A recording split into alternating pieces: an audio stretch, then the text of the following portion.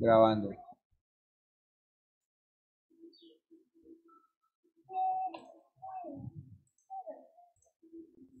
Bueno, listo. Ahora sí, ya empezamos. Eh, vamos a ver el momentico el taller. Algo es, es, sencillo, pero pongan atención para que lo podamos realizar. Hoy vamos a tratar de ver rápido lo que tenemos y el jueves desarrollamos la actividad. Eh, pero antes de esta propaganda, yo quería mirar si ustedes confirman acá en, en la, la, plataforma, si ustedes ya pueden ver, yo les subí, ya les hice el video tutorial para, para que vayan practicando la canción, ¿sí? De interpretación, vean, interpretación, un canto de esperanza. Si miran, acá hay un link. Al final, Ahí está al el final link. aparece junio 14, aparece interpretación con el link y las notas que recuerdan. Exacto. Ahí, ahí ya tienen el link para que vaya viendo cada quien, mire su instrumento y el jueves me hacen las preguntas. Espera un momento, perdón, empezamos. Listo, vamos a ver, traten de ustedes de abrir los archivos ahí. En esa, en esa actividad dice células rítmicas. ¿Listo? Entonces, vean, hoy vamos a ver unas figuritas que están, eh, son, son elementos ya en las, en las notas para, uno, para la composición o la lectura musical, se llaman células rítmicas, ¿sí?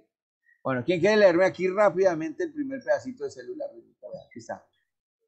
Se puede, dale, profe, dale. células rítmicas y aleatorias. Alteraciones. Se pueden decir que las células rítmicas son pequeños diseños rítmicos y también melódicos, los cuales se pueden aislar o los mismos pueden formar parte de un contexto temático, es decir, de un tema en particular. Las principales características del ritmo son 1. Tiene, tiene una distribución correcta en los acentos. 2. Permite concretar la, la métrica. 3. Es parte de la poesía. 4. Se caracteriza por llevar un tiempo y una velocidad de ejecución. El ritmo es una característica fundamental de los poemas, bailes, movimientos, música y otros y, y otros muchos. Y muchos otros. El ritmo permite llegar a un tiempo y una velocidad respecto a una circunstancia en particular. Perfecto. Muy bien. Entonces, ya les voy a explicar. Leamos esto rápido. Vamos a explicar. ¿Quién quiere leer la otra? Lo que sigue. Otro que va leyendo. Yo, profe, desde el ritmo. Sí, dice células rítmicas básicas. Ah, ya. Eh, si vamos a frasear cada célula rítmica, usaremos sílabas sobre las notas que nos facilitarán solfear un motivo musical.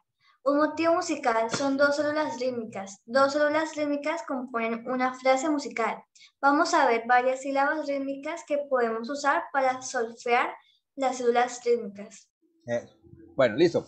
Eh, hay varios términos que pronto no los escuchaban, ¿cierto? Está la palabra solfeo. Solfeo es, es la lectura musical, ¿sí? Solfeo, la lectura de las notas. Entonces, vamos a mirar qué es una, una célula rítmica. Entonces, una célula rítmica es una, una, figurita musical que se compone a veces de, de, diferentes mm, notas que tienen diferente valor. Por ejemplo, vamos a mirar la primera. Si ustedes alcanzan a ver ahí, pero lo más grande. Esta es la primera célula. ¿Cómo llama? El nombre asignado, ¿cuál es la primerita? Galopa. Galopa, muy bien. Galopa, voy a, yo aquí tengo unas baquetas para ahorita para jugar con eso, para marcar el ritmo. La galopa se compone de una corchea y dos semicorcheas unidas, ¿sí la ven? Entonces, cuando salen en una composición musical estas figuras, a veces uno dice, ¿y eso cómo se lee? ¿O eso cómo se hace? Entonces, esta, esta figura está marcada, está en el tiempo de una negra, ¿sí? Corresponde a un tiempo. O sea, si usted va a tocar, por ejemplo, el pulso de la negra, ¿sí? Este golpe, un golpe, en este tiempo tiene que sonar esas tres notas, ¿sí? Porque usted sabe muy bien que la corchea vale medio tiempo y la semicorchea vale un cuarto, pero hay dos semicorcheas. Pero entonces, ¿cómo se lee esas notas tan, con, esas medidas de tiempo eh, eh, ternarias, ¿sí? Porque son, no son enteras ni nada, son, son fracciones de, de tiempo. Entonces, tenemos ahí que colocarle una palabra, ¿sí? A cada notica le ponemos una sílaba para uno cantar. Entonces, mire cómo la vamos a cantar. Le quito este, esta flechita, le voy a quitar aquí. Listo. Vamos a decir la palabra níspero, ¿sí? Ya. ¿Sí? Por ejemplo, la palabra níspero debe ser níspero, ¿sí? Voy a, marcar acá. Ustedes me dicen si alcanzan a escuchar. ¿Se escuchan? Sí, profe. Ah, bueno, vea, pone ya. Aquí yo aquí en la mesa la volví una batería. Vea. Aquí, con una mano estoy marcando el pulso, vea, que es la negra. Uno, ta, ta, una nota, ¿sí? Pero la otra tiene que decir níspero, níspero, níspero, níspero, níspero. Escucha cómo suena, vea.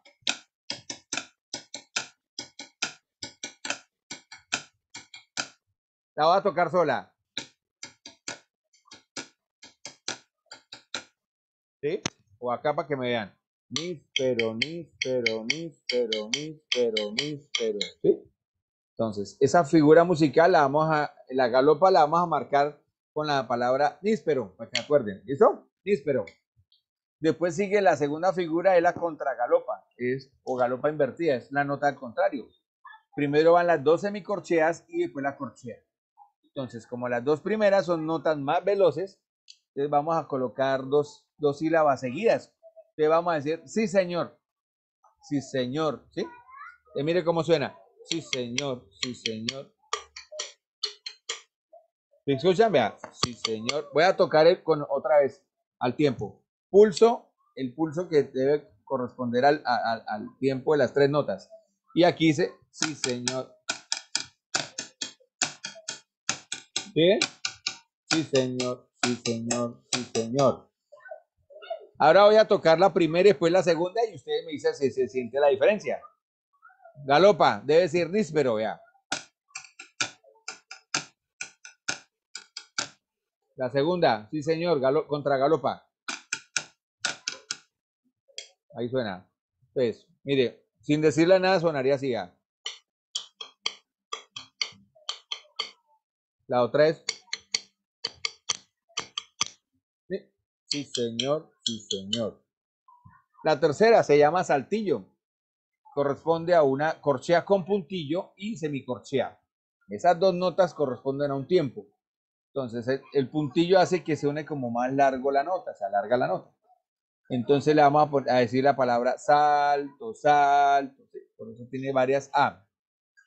Y las toco al tiempo, vean, un pulso, dice así.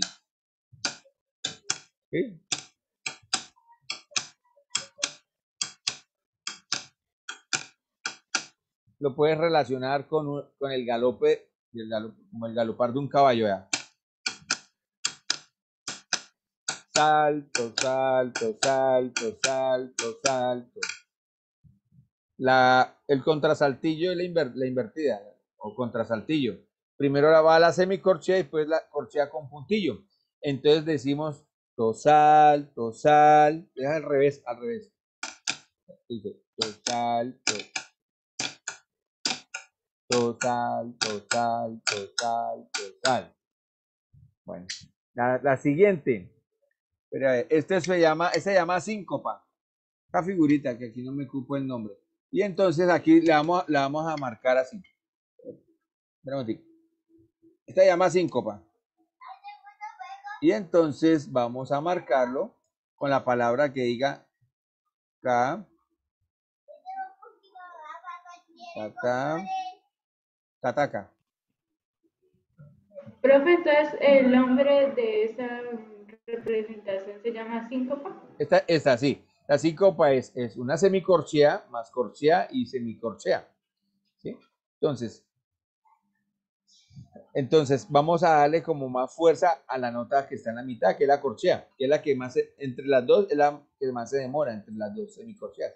Entonces la palabra que vamos a decir es kataca, kataca, ¿sí? Kataca, kataca. Acentuamos la ta, la palabra ta, ¿sí? que es la que más se demora. Entonces mire cómo sonaría, a ver. En un pulso debe decir, debe decir kataca, vea. Suena así, vea. Kataca, kataca, kataca, kataca, Ah, cómo suena. Ahí está. Ustedes ya saben. Galopa, vamos a decirle níspero. Contra galopa, sí señor. Saltillo, salto.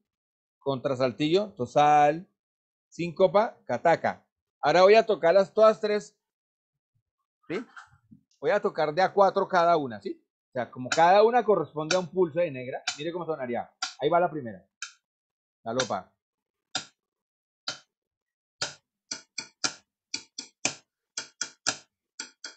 Segunda.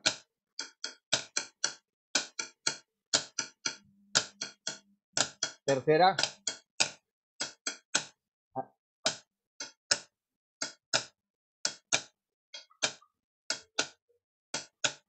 Saltillo. Un, dos, ya, ya. Y síncopa. Ataca, ataca, ataca. Entonces, cada una da, da un, una, una marcación diferente. A la redonda, mire, la redonda entonces ya sabemos que vale cuatro tiempos. Entonces le damos a una, sería, ¿sí? que marque cuatro, en un, entonces sería, ¿sí? si lo, eh, como la redonda, un solo golpe sería, se hace, un, dos, tres, cuatro, un, ¿sí? Solo suena una, un, dos, tres, cuatro, o con la vocal, alarga los cuatro sonidos, a, ahí están los cuatro. La blanca vale dos. Entonces sería ta, ta, ta, o vale dos tiempos. Un, dos, un, dos. Vale dos tiempos. Tenemos la unidad de tiempo de pulso que es la negra. Entonces podemos decirla ta, ta, ta. Marca un, tiempo. Ta, ta, o un, un, un. Cualquier sílaba solita. Ta tenemos las dobles corcheas. Dobles corcheas, ven acá. Esas dobles corcheas valen un tiempo. Podemos decir titi o casa. Digámosles casa, que es como más fácil ahí. Mire casa como. Casa, casa. ¿sí? En un pulso, vea, si marco un pulso, dices casa, casa, casa, casa, casa. Suena así. La siguiente es, se llama cuartina, cuando son eh, cuatro semicorcheas agrupadas. Se llama cuartina. En esas la podemos llamar mm, chocolate, que es más fácil que tiritiri. Tiritiri. Tiritiri, esa también se puede decir, o chocolate. Es en un pulso, en un pulso de decir chocolate, miren, así. Chocolate, chocolate, chocolate, chocolate. ¿Sí? ya se siente más rápida. Todas son semicorcheas. Todas hay que a un tiempo. Aquí volvemos a repasar la galopa, que vamos a decir níspero. Acuérdense. Níspero, níspero. Eh, ahí, sale un saltillo. El saltillo es salto, salto, salto, salto. La síncopa. Es, esta síncopa, ¿cómo la vamos a llamar entonces? ¿Cómo dijimos? Bueno, aquí ya tiene el nombre. Dijimos que vamos a decirle K, Kata, K. Listo, Kataka. Ahí ya tiene el nombre. Kataka. Entonces, ese suena así. Kataka, Kataka, Kataka. ¿Sí? Ahí está. Siguiente, y el último ahí sería el tresillo. Ese tresillo equivale a un tiempo. Entonces, se puede decir música, música, música, o rápido, rápido. Mire cómo sonaría en un pulso. Un, dos, tres, cuatro rápido, rápido, rápido. O música, música, música, música. Estas figuras son de asentaciones eh, compuestas para darle el acento a los ritmos, a las canciones, a los golpes musicales, a los aires. Con esto ya es que uno arma eh, los ritmos musicales que usted va a tocar, por ejemplo, si yo toco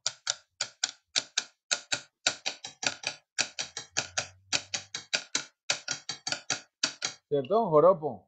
O voy a tocar cumbia, entonces lo mismo, entonces se mezclan las síncopas, se mezcla la otra figura que es galopa y se van haciendo las combinaciones. Bueno, aquí ya dijimos que la doble corchea es casa, pero pueden salir los silencios. Este es un silencio de negra. El silencio vale uno. Los silencios equivalen al valor de la nota musical. Bueno, estas son algunas células, existen muchas más. Entonces, pero entonces vamos a mirar esas ahí. Siguiente, ¿sí me han entendido o no? ¿Qué hemos quedado? La siguiente se llaman las alteraciones. Estas alteraciones modifican el sonido, dependiendo si aumentan o disminuyen el tiempo. Tenemos esos. El primero es el sostenido. Si usted ya tiene, venga a ver si alcanzamos a ver acá. Ya, ya, un momentico. Ay, Carol, Carol, pásame eso. A mí, pásame eso. Carol, Carol, pásame eso rápido. Bueno.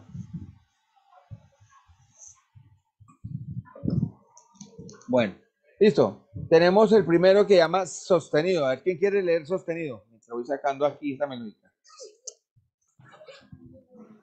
Profe, ¿cuál el que se sube medio tono de la nota? ¿Sube cuánto? Medio tono de la nota. Eso. Entonces, si ustedes ven acá, a ver acá un momentico, pongo aquí que se vea el aparatico acá. ¿Sí lo miran ahí? Sí. Si miran, el teclado se corresponde de teclas negritas. Pero si yo hago las notas ascendente, do, a, re, do, re, es un tono entero, do, re, igual que en la flauta, do, re pero entre la mitad de esas notas existe un semitono. Pero si lo, lo toco ascendente, sería sostenido. Do, do sostenido. Re, re sostenido. Mi fa, vean, mi fa no tiene, igual, en todos los instrumentos y en la escala musical, no, mi fa no tiene sostenido ni bemol. Va la nota seguida. Se llama semitono. De acá a acá, ahí, ahí tiene semitono. De fa a fa sostenido. Sol, sol sostenido. La, la sostenido. Entre si, do tampoco hay, ya, si, do Ah, no hay semitono. Entonces, cuando van ascendiendo, ascendiendo, es, sostenido. Pero si me devuelvo, vamos a hacerlo tocando para que vean cómo suena.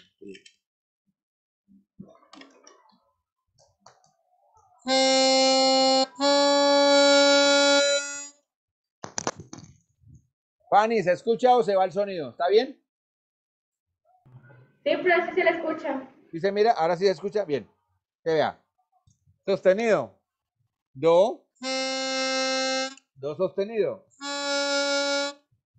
Aumenta medio tono.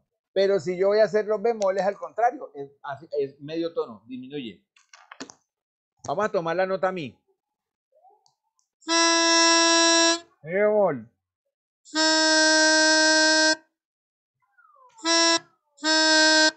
Disminuyo medio tono, se llama bemol la tercera figurita se llama B cuadro. Ese destruye el efecto, el efecto del sostenido del bemol. ¿eh? Entonces lo dejan la nota normal. Pero también existen otras alteraciones ahí que se llaman dobles sostenidos y doble bemol. Entonces, esos son excepciones en las canciones para uno alterar un, le suben un tono, porque esa sube un tono. ¿sí? Porque es, es, doble sostenido, medio más medio da uno, entonces subiría un tono completo pero son en pedacitos de las canciones, en compases, en partes pequeñitas, que se altera eso. Eso es en sí lo que sería el semitono o alteraciones, ¿sí? Sostenido, vean, la figurita es como el, trique. Bemol es la B, B cuadro es esta figurita. Doble sostenido, el doble sostenido se puede pintar las dos sostenidos o una X, ¿sí? Como una X también. El doble bemol se marcan las dos B, ¿listo? Ese en sí eso solamente es para leerlo y ustedes ya van teniendo en cuenta. Porque, por ejemplo, si vamos a hacer canciones lejos de mi Padre Dios, vean. ¿Sí, mira? Ahí yo hice esta nota en flauta que va a ser si bemol. Porque esta nota es si. El primer huequito es si, Pero necesito bemol. Entonces va a aparecer en la partitura la B. Ah, significa que es si bemol. Entonces, mire, el sonido ya cambia. Si normal, si bemol. ¿Sí? Si no le meto ese si bemol, cuando usted haga la melodía no le suena. Voy a tocarla bien, vea.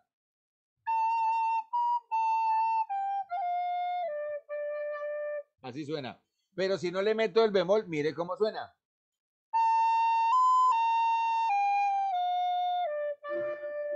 ¿Cómo la escuchas? No, pero ya suena diferente. De una. se escucha como muy feo. Se suena raro, es como, como si le faltara algo como desafinado. Exacto, no más el oído humano ya lo capta, así no sepa música ni sepa nada. De una lo va a escuchar, ¿sí o no? Entonces, para eso sirven las alteraciones, para poder complementar las notas en las melodías.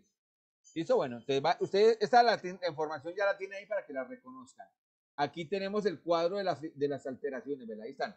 Bemol, B cuadro, sostenido, doble bemol y doble sostenido. ¿Listo? Entonces aquí, por ejemplo, usted mira una, aquí tenemos un ejemplo, una partitura. Esta, en esta canción, esta sonata, al principio aparecen acá bemoles. ¿Sí? Me marcan la... la, la, Uy, pero eso parecen unos escuadros. Eso, esto ya es una partitura. cositas ahí. Exacto, una mano de figuras. Pero, todas esas figuras, vea. Vea, la primera, la, la primera aparece, vea, es, sale en otra figura que, es, que se llama, esta tiene otro nombre, esta, esta otra figura, es una, es como un, es una galopa sencilla, esta es una galopa doble, eh, hay corcheas sueltas, negras, eh, hay tresillos, hay de todo, todas figuras. Ve, aquí hay una, otra galopa. Hay ligaduras, profe. Ligaduras que vamos a mirar ya ahorita en ese momento. Que las ligaduras van a unir las notas. Hay ligaduras que van en, el mismo, en la misma nota, en la misma altura, entonces se suman. Pero si van ligaduras de diferente, como esta que estoy aquí con el mouse moviendo, esas se llaman ligaduras de prolongación. Entonces las unen, deben sonar es para que se junten los sonidos, no suenen separados, que usted va a tocar si, sol, sino si, sol, sí, que se unen junto las notas. La ligadura une, une los sonidos. Aquí hay hartas figuras, entonces eh, ahí está el sostenido, hay B cuadros, si lo miran ahí, entonces ahí aparecen estas figuritas para que lo van reconociendo. ¿Listo? También existe la otra figura que llama en armonía, cuando es como cuando les mostré acá, una tecla tiene dos nombres. La enarmonía es cuando la mismo, el mismo sonido tiene dos nombres, dependiendo si va aumentando o disminuyendo. Voy a poner aquí, venga, en la tecla re, venga. Profe, ya acabó la clase en 9.47. Sí, listo. Bueno, acuérdense ahí, ahí ustedes aquí tienen para que vayan viendo y vayan eh, mirando más del tema. Eh, nos vemos el jueves, ¿listo?